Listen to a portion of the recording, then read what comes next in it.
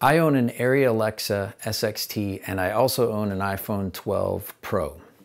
And I thought it would be fun to do a comparison in a controlled environment, trying to keep as many factors the same and just see what the difference in the image quality is. So I have both the cameras side by side.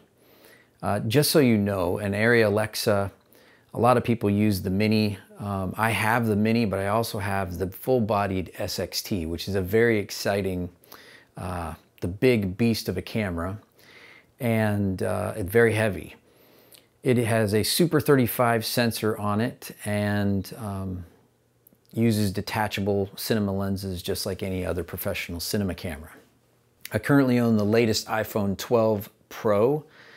This happens to be the Max, so it's the biggest camera as well. I wanted to set as many factors between those two cameras uh, the same. I'm in a controlled room where I'm controlling the lighting.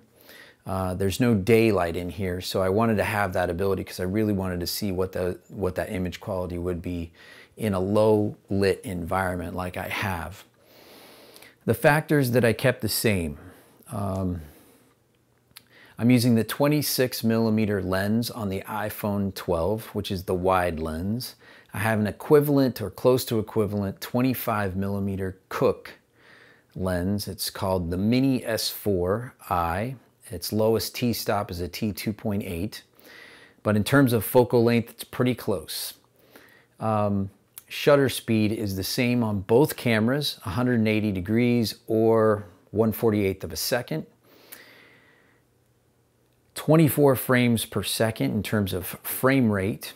And finally, the last factor that I could control was color temperature and the default color temperature on the sensor for the Arri Alexa is 5600 Kelvin and I was able to control or manually adjust the color temperature on the sensor for the iPhone 12 to 5600 Kelvin as well. The only thing I couldn't control was ISO. The default ISO on the uh, Alexa is 800. I left that as such. I locked down for the iPhone 12 the shutter speed to 148 and then made the EV setting or the ISO setting as low as possible. From there, I adjusted my key light on me and on this side of my face such that my exposure on the key side of my face was right on, not overexposed or underexposed. And then from there, I used a light meter, my light meter here, took a reading, and uh, from that reading adjusted my aperture to about a T4, uh, T4 and about 2 tenths. So um, that is my settings that, um, that I could control. Um, I've got a key light here on me, on my face. I've got a side light, um, not very bright, um, an LED light, very small, uh, on the right side of my face or camera left. And then I have just kind of a back a Fresnel that's you know making a cut light across the back wall just to add interest. So what can we learn by looking at these two images side by side? What can you see? Um, and I'll talk to you a little about what I see in the images. I happen to be looking at a monitor over here, so if you see my eyes go this way, I'm looking at this on a Flanders Scientific color calibrated monitor, which is a really great professional monitor, and I color grade with this. And I know that the colors that I'm seeing on this monitor are very accurate. So right off the top, the color is the first thing that I see on both sensors. Although the, can the sensor temperature on both is 5600 Kelvin, it's clear that the iPhone 12 is skewing warmer.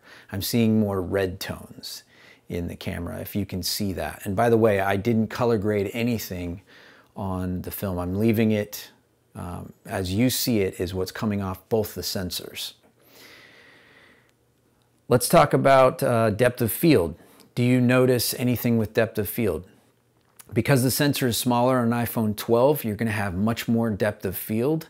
Um, that being said, it's still both, they're both very wide angles, so um, there's not going to be a lot of shallow depth of field in either shot, although you may note on the SXT or the Arri Alexa that the background is slightly out of focus, um, although not very much. But everything's in focus on the iPhone 12 because the sensor is so small. And that's one of the downsides of a small sensor, depth of field. Now let's talk about the big one, in my opinion, dynamic range. The sensor size on an Arri Alexa is much larger. It's a Super 35 sensor uh, size, and so and it's slightly larger than that. Um, but it's as big as a film emulsion was for Super 35 film. The sensor size on an iPhone 12 is minuscule, very tiny.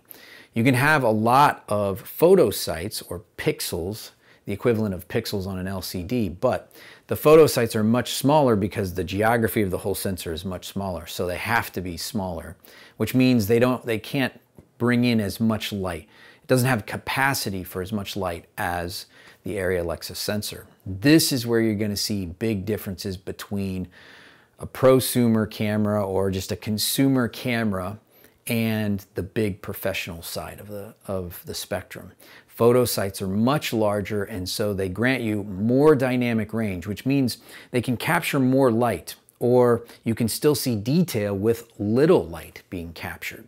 So the, and what you'll see manifest in an image like this is the difference is in um, kind of, some people say it's got a more, the Arri Alexa has a more filmic quality and sensors that have very small photo sites have um, more of a video quality to them.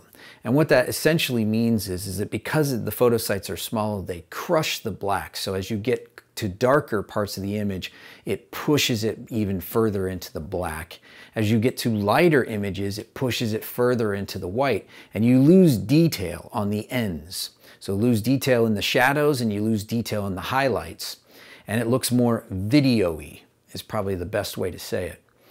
Um, whereas when you have a large sensor with very large photo sites and you have a company that's dedicated many years, over a decade, um, into the technology of studying film emulsion and trying to render the same dynamic range of film on a digital sensor like Arri has done, um, you can really see that image quality. It feels like film, and it's very much not film. It's a digital image, but it feels like a film, filmic quality. It's got more, um, I don't know, it feels like a natural type of image, kind of what your eye would see, um, more filmic, uh, it's very hard to describe. When you see video, you know right away. You know your blacks are crushed. Video, a perfect example of video is what you see on sports, live sports. It, to me, is the very high resolution now, but it's just punchy, very punchy image, and you'll see that difference in the iPhone 12